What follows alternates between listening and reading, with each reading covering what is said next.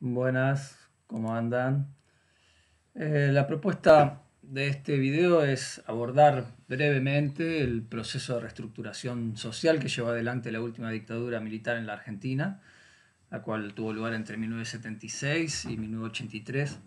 Vamos a seguir como eje vertebrador el análisis que propone Villarreal en los hilos sociales del poder, que es un trabajo publicado en 1985 que buscaba aportar distintas claves explicativas para entender el escenario político, ideológico, económico y social que comenzaba a caracterizar el retorno a la democracia.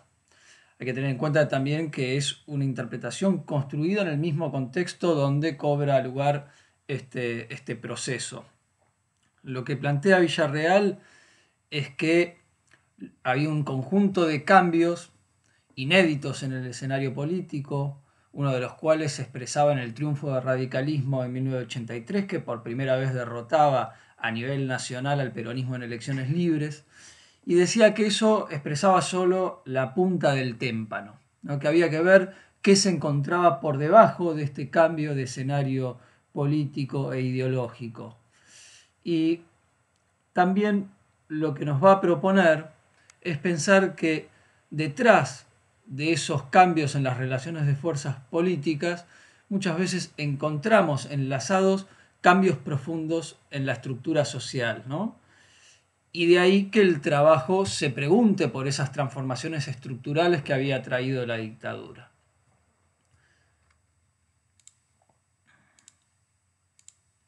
Para Villarreal, la dictadura había actuado con una inusual concentración de poder y con una estrategia de tierra arrasada, con un objetivo de reestructuración social que fortaleció las bases de la dominación y que fragmentó a las clases subalternas, a las clases populares, y que desde ahí afectó también los lazos de representación, afectó el comportamiento de los actores de la sociedad civil y la propia constitución de identidades políticas, culturales e ideológicas la magnitud de la reestructuración que llevaron adelante tenía que ver también con las características del escenario previo. Pensemos en el avance de las movilizaciones populares en los años 60 y los años 70, que también expresaban la existencia de una recurrente crisis política, que por momento además se manifestaba como una crisis orgánica o una crisis del conjunto del bloque histórico. Eh, y que para Villarreal principalmente estaba explicada por cierta indefinición hegemónica de los sectores dominantes, decía él. Esto tiene que ver con un entramado de relaciones de fuerzas que constituían el eh, llamado empate hegemónico, ¿sí? concepto trabajado por O'Donnell, por Portantiero. Básicamente, ¿qué implica este empate hegemónico? Que ninguna de las clases sociales que lideraba el polo de la contradicción principal de aquel momento, que básicamente enfrentaba al capital monopolista industrial y al proletariado industrial, ninguna de esas fracciones, ninguna de esas clases había logrado transformarse en hegemónica. Por lo cual se creaba una situación de relaciones de fuerza donde cada grupo tenía suficiente energía como para vetar, como para bloquear los proyectos elaborados por los otros grupos sociales, pero al mismo tiempo ninguno de los grupos lograba reunir suficientes fuerzas como para dirigir el país según su propio proyecto y según su propia visión del mundo. Ahora bien, volviendo a Villarreal, ¿no? él plantea que esta particular eh, configuración de las relaciones de fuerzas políticas estaba vinculado y estaba eh, ligado a una particular configuración social que él caracteriza como heterogénea por arriba y homogénea por abajo. Vamos a detenernos un segundo a ver eh, qué quiere decir esto. Heterogénea por arriba nos habla de una heterogeneidad, de una fragmentación de los sectores eh, dominantes, de las clases dominantes. ¿Cuáles son los factores que identifica Villarreal? Nos habla de una escasa centralización del capital que aumentaba la estratificación interna de la burguesía, que además había una alta diversificación productiva que fraccionaba todavía más sus intereses. Por el contrario, al interior de las clases subalternas, encontramos una fuerte homogeneidad, ¿sí? que estaba caracterizada por distintos factores. Principalmente, dice Villarreal, por una gran difusión de la relación salarial, ¿sí? la, la relación trabajo salariado y capital. Al mismo tiempo, un peso mayoritario de los trabajadores industriales, ¿sí? que actuaban como el nodo principal del poder del movimiento obrero.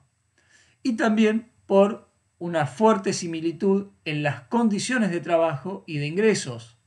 Nosotros podemos pensar desde una mirada gramsciana como la que, eh, la que trabaja este, e, este conjunto de textos que estamos viendo y particularmente el de Villarreal, ¿no? podemos pensar que una mayor homogeneidad social genera condiciones favorables para una mayor solidaridad política. ¿sí?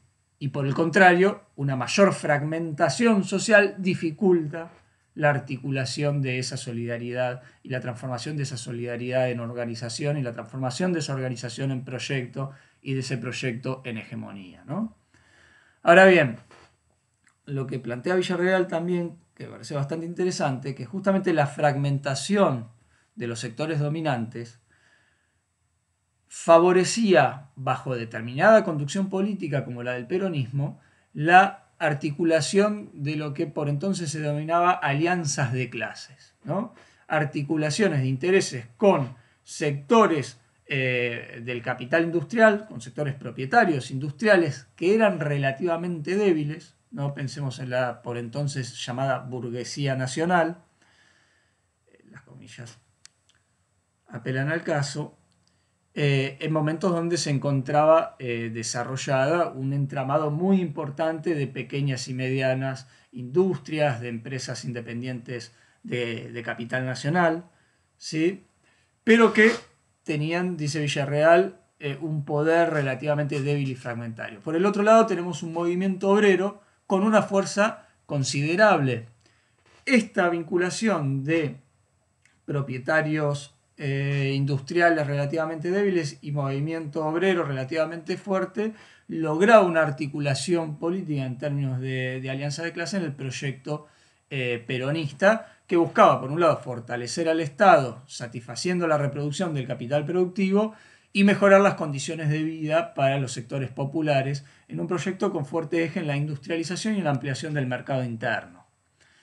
Ahora bien, la dictadura viene a cortar de raíz con este contexto social, económico, político e ideológico de la Argentina. Si bien hay que tener en cuenta que ya las condiciones estructurales comenzaban a cambiar en los últimos tiempos, incluso previo a la dictadura, esta viene, decíamos, con esta estrategia de tierra arrasada, de, cambios eh, estructurales que Villarreal analiza en un triple, un triple movimiento, ¿sí? esta estrategia de triple movimiento.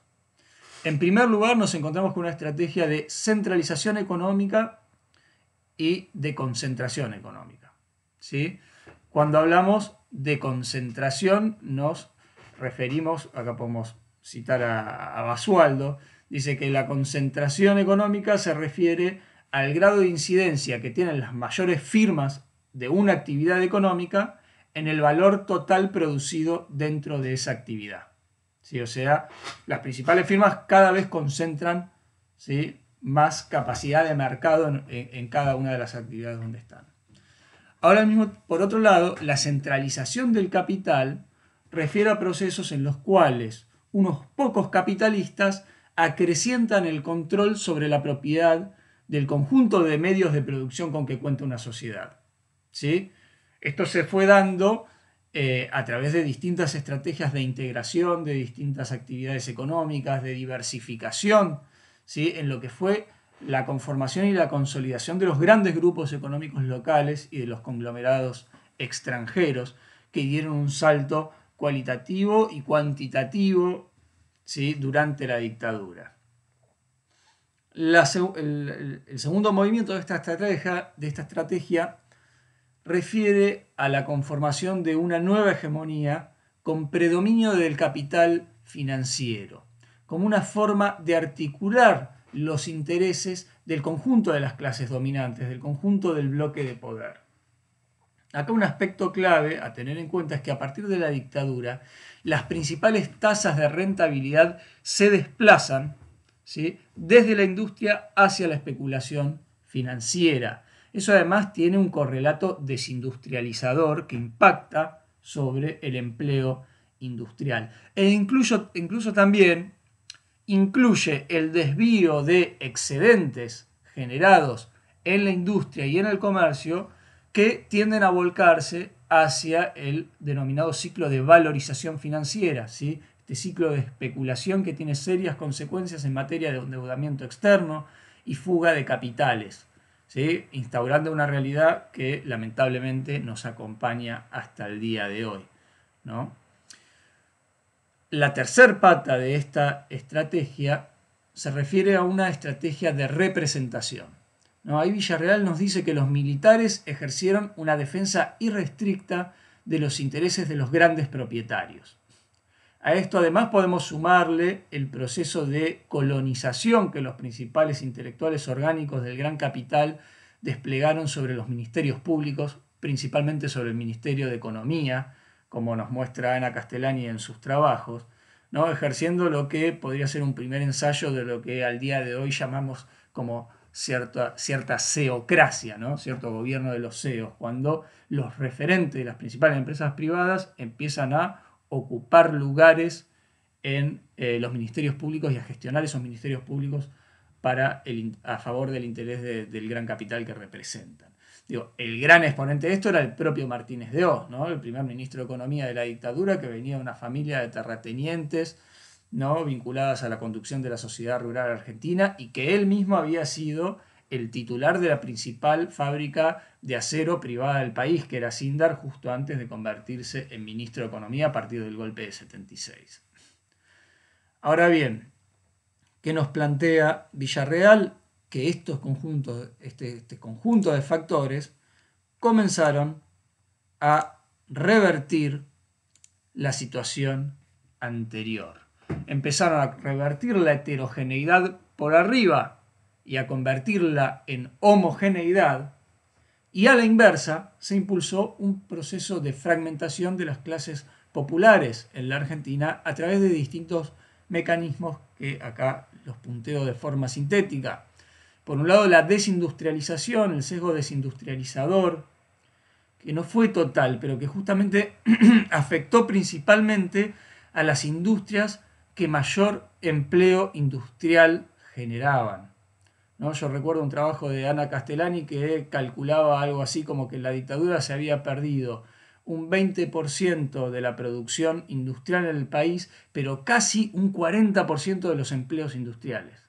¿sí? Entonces, ese es un eje clave de reestructuración social que afecta luego el poder de la clase trabajadora organizada fuertemente a través de un, movimiento obrero con un anclaje poderoso el movimiento obrero industrial.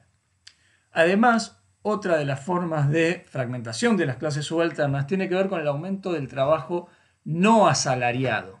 ¿sí? del el trabajo independiente, del crecimiento del cuentapropismo. También otro elemento clave fue la marginación de trabajadores del proceso productivo. ¿No? Este, este proceso que se da con la instauración del régimen neoliberal en la Argentina y que comienza a generar un desempleo alto cada vez más permanente y a eliminar un, escenario tendiente al pleno empleo que favorecía el poder de la clase trabajadora.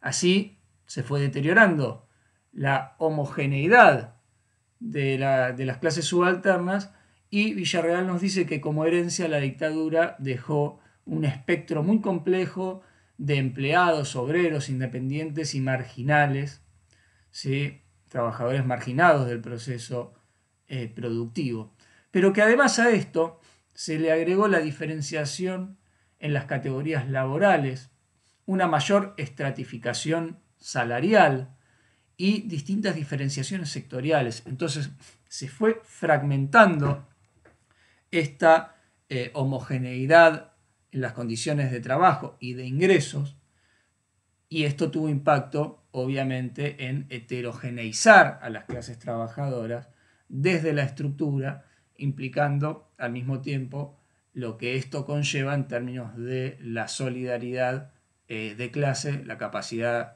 de lucha y de organización. ¿sí? Incluso hubo estrategias para desplazar industrias desde zonas de gran tradición de lucha y organización obrera hacia otras sin esa tradición.